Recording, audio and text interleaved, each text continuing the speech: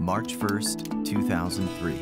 U.S. Immigration and Customs Enforcement, or ICE, is founded within the Department of Homeland Security, which opened its doors the same day to unify our national security efforts in the wake of the nation's deadliest terror attacks. With operations beginning less than 20 years ago, it may appear to some that ICE is a young agency in a new department. History, however, tells a different story. The functional history of ICE is rooted in our country's earliest days. In 1787, a series of anonymously authored essays known as the Federalist Papers were published throughout the newly formed United States of America.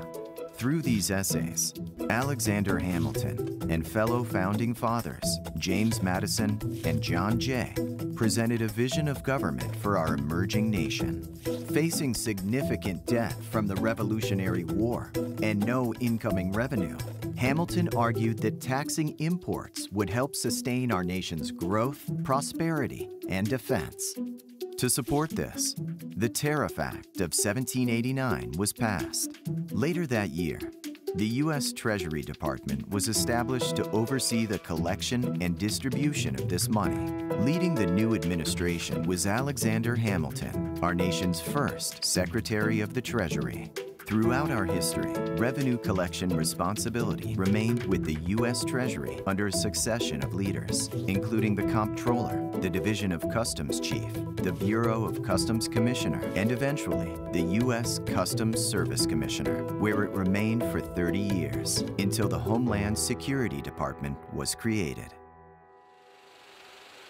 As the United States grew, the framework of customs administration took on greater enforcement responsibility. With stations dotted along many of our national borders, the U.S. Customs Service was uniquely suited to manage regulations related to importation, border traffic, and immigration. In the decades following our independence, the U.S. encouraged a relatively open immigration policy and the influx of new citizens came at a manageable pace. But starting in the late 1800s, coinciding with the railroad boom and the Second Industrial Revolution, there was a sharp increase in the demand for affordable labor. Newly acquired territories invited significant westward migration. Across the ocean, a mix of war, religious and political oppression, collapsing economies, and famine fueled a wave of people coming to America in search of the economic and educational opportunities that later formed the core of the American dream. This influx of people put pressure on Congress to regulate the immigration process, leading to some of the first laws to combat human trafficking, child exploitation, and forced labor. The nation also began collecting additional revenue by placing a 50 cent head tax on each newly arriving immigrant, creating another revenue stream for the country. Through the latter half of the 1800s, the U.S. Customs Service was responsible for administering new and increasingly complex immigration laws. A distinct agency was needed to handle this important work.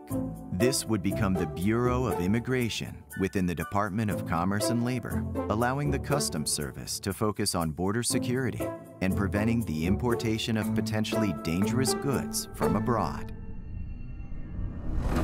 When alcohol prohibition went into effect in the year 1920, the production, sale, and importation of alcoholic beverages became illegal in the United States. While the Prohibition Unit within the Bureau of Internal Revenue was responsible for enforcing the federal ban on domestic production and sale of alcohol, the task of seizing alcohol imported from abroad fell to the U.S. Customs Service. Despite these new bureaucracies and restrictions, American growth was unparalleled for the next 50 years. From 1892 to 1954, more than 12 million immigrants entered the United States through New York City's Ellis Island. Customs and immigration authorities, including administrative, legal, and enforcement functions, all work together to secure our borders and strengthen our economy throughout the 20th century. Then, in the early hours of a clear blue late summer morning, the entire world appeared to stop.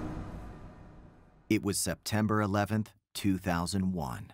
19 men boarded four commercial airliners and carried out a coordinated series of savage attacks on the United States of America. In the weeks and months to follow, a key part of our national response was to create the Department of Homeland Security and, within that department, ICE. Our efforts focus on dismantling transnational criminal organizations, preventing human trafficking and drug smuggling, battling cybercrime, rescuing victims of child predators and human traffickers, protecting intellectual property rights, and removing criminal aliens.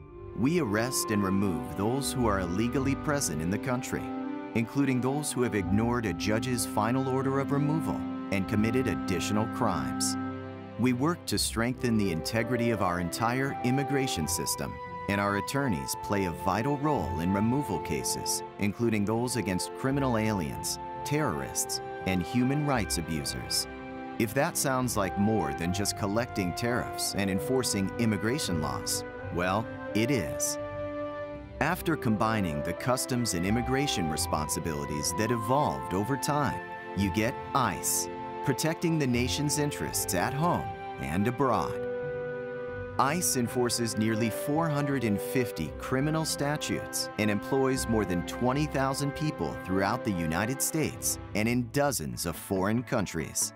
On an average day, ICE agents and officers make hundreds of criminal and civil arrests, seize millions in illegal currency, rescue victims of child predators and human traffickers, while also blocking thousands of malware attackers, seizing tons of illegal narcotics, and initiating investigations into sensitive technology theft. History shows the connections between those who came before us and the men and women who compose today's U.S. immigration and customs enforcement workforce are clear. The Customs Service was created to guarantee revenue collected by our nation was used to help it grow and keep it safe.